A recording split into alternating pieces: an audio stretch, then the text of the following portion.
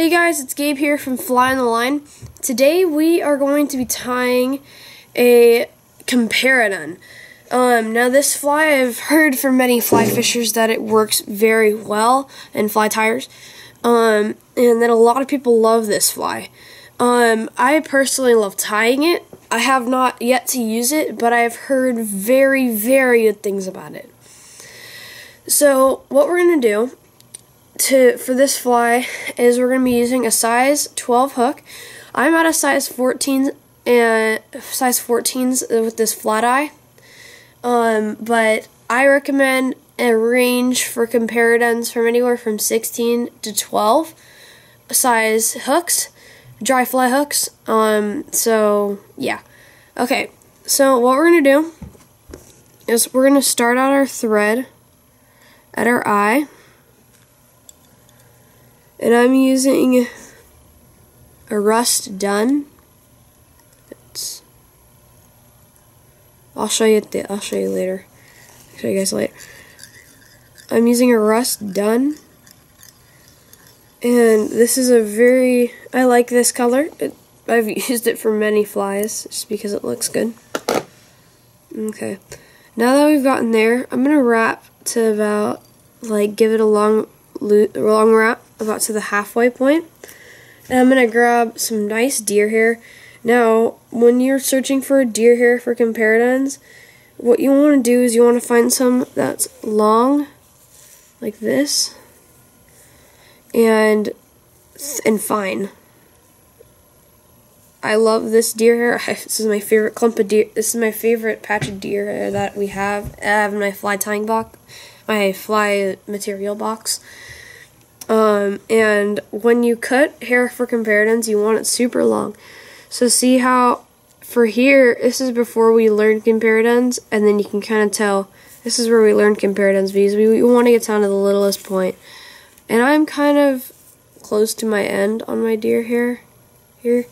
I'm gonna have to go to a different patch, which kind of stinks because I really love this stuff, but who cares? Um, so we're gonna grab a couple hairs, a couple deer hair fiber, deer hairs, not that many. You're gonna grab, you're gonna grab them and take your scissors and you're gonna clip them off. You're gonna get rid of all that excess hair and fuzz. You're gonna grab your deer hair stacker, or just your, your regular stacker. There's not really a deer hair stacker. Okay, you just stack those hairs. Okay.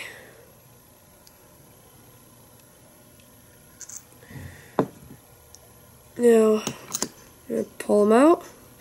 Those are stacked pretty evenly. I like the way they stacked. So what I'm going to do is I'm going to take my scissors and I'm just going to clip it so it's nice and even, like that. What I'm going to do is I'm going to line it up so it gives it a nice tail, like that. And so what you're going to do is you're going to, with this, you're going to want to build up your body. So you're going to want to trim and make sure it's about to the eye. So you're going to wrap down the center and keep doing loose wraps so it stays like this.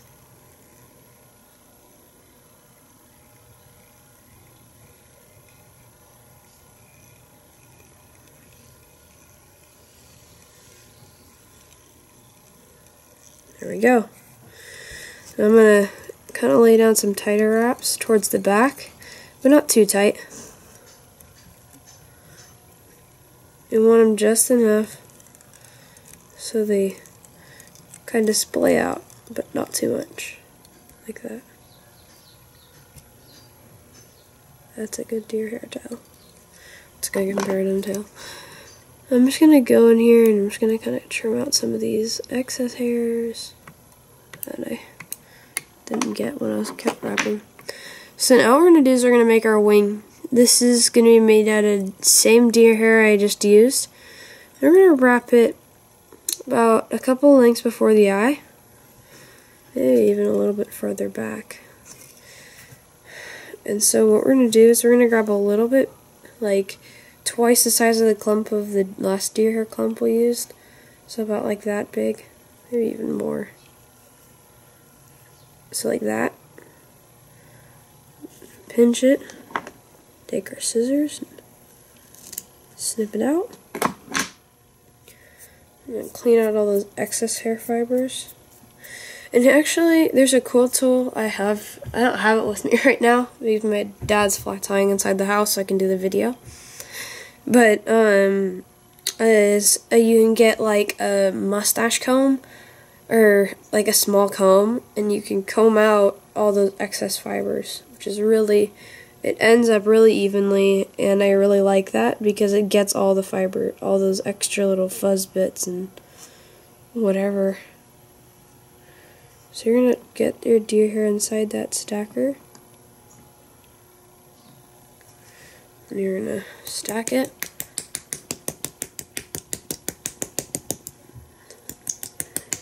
Okay, there we go. It doesn't have to be too evenly. If it's a little uneven, it's okay. Just get rid of all that extra fuzz. There's still more. I wish I had that mustache comb. Okay. I'm going to trim it so it's about even. That. Nice even hairs. To flip your deer hair around. Going to line it up. You want a wing about that big. So that's about a little past the eye and right where the thread stops and that gives you a nice wing. So you're to put down some loose wraps and then pull tight. You're to lay down some heavy, some good, some not too heavy, but just enough to kind of give it a bump. Some heavy wraps. You're to take your scissors snip that out of there. It's still a couple hairs left over.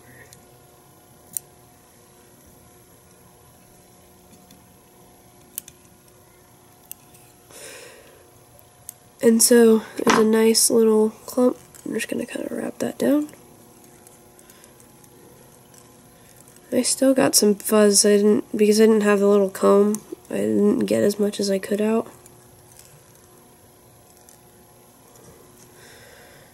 So,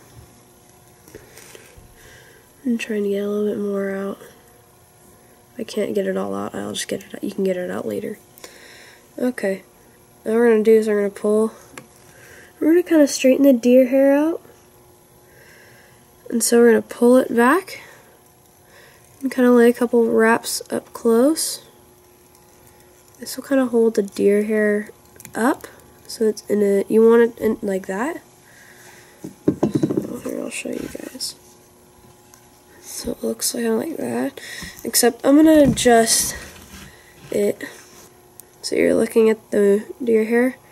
I'm going to adjust it so it is like a fan. A 180 degree fan. It's not supposed to be at the bottom, but you want to adjust it so it's evenly spread. And like that. And if it's leaning forward too much, just lay down a couple wraps. And then just to kind of adjust it.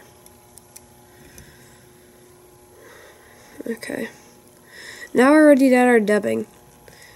So we're going to wrap all the way back to just before, just our tail. Okay.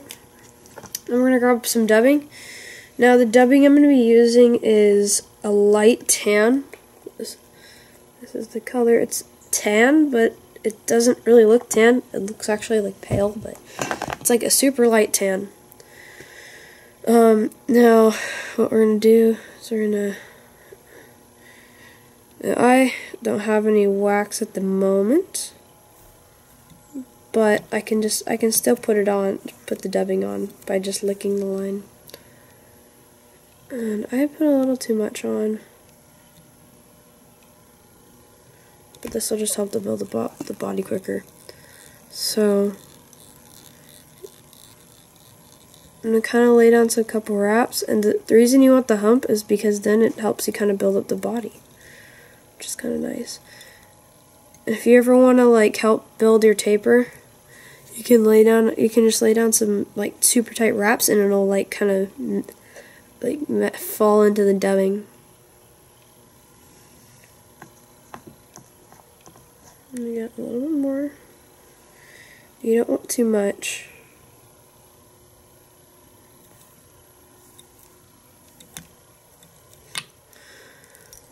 And you're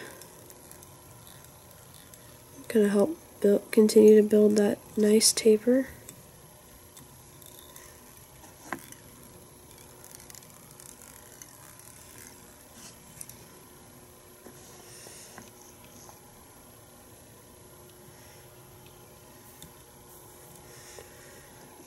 Keep adding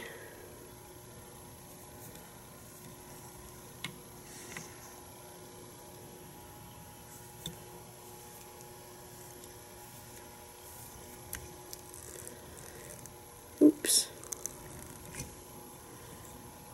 It's a, fix it, a fixable mistake. So when, once you sort of get to the back, you try not try your best not to capture any deer hair fibers. It's kind of hard.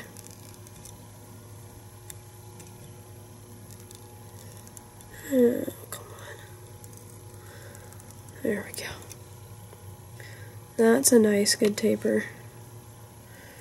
Then we're going to wrap just to the front of the wing. After, sometimes after wrapping, sometimes your deer hair fibers can get, and that little fan can get uneven. Ooh, I got a stray butt hair in here. Butt end.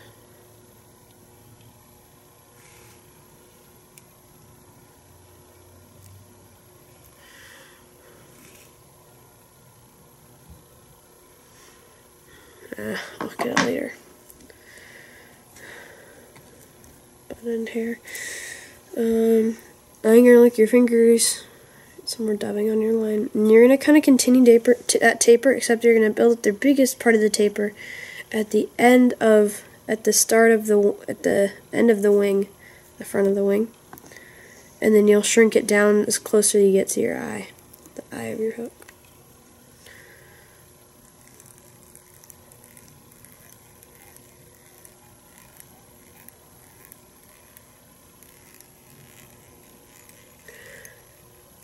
And you're going to want to leave some a spot in front of your eye.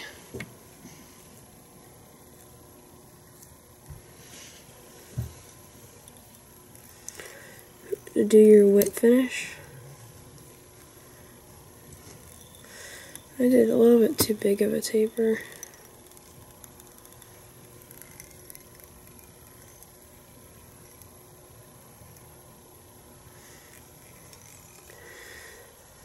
Now, my wing kind of came back because I wrapped so close to my eye. But I can just adjust that. Pop it forward like that. Okay. Now, we're going to grab our whip finisher.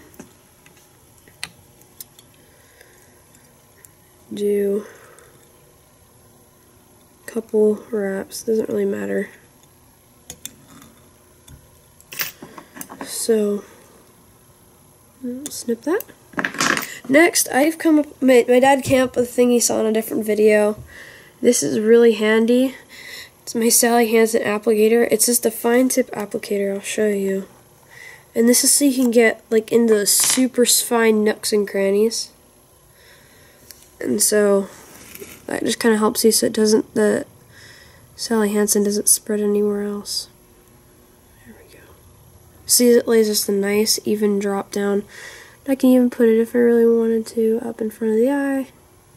And that just kind of strengthens it up in front of the end. And then just like your bodkin, you'd want to wipe that off. Like that. And then you'll notice some some of these come with a cleaner and see how it's kind of sticking out. That you're gonna want to put. You want to get it lined up with your the hole, and, it's gonna slide in. There you go. Ugh, okay. So that, my friends, is how to tie the Comparadun. This is I I really like this fly. This is this is kind of how just kind of how it looks.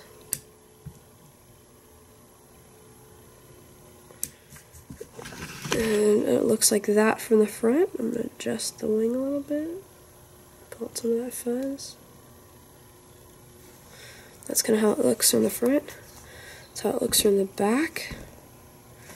And this is how it kind of looks from the bottom, like that. Um, thank you guys so much for watching. Um, please like and subscribe to my channel. Um, and please have a great day. And also check out my blog, flyonthelineblog.wordpress.com. Thank you guys so much for watching, and please have a great day.